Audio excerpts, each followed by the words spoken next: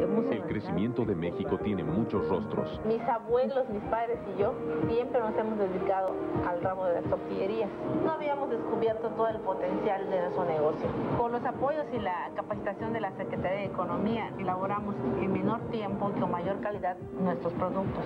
Apoyos para más de 400 mil pequeñas y medianas empresas. Si yo ahorita tengo una producción de 300 kilos de tortillas, quiero producir 600 y venderlos todos. Fíjate en México, Secretaría de Economía.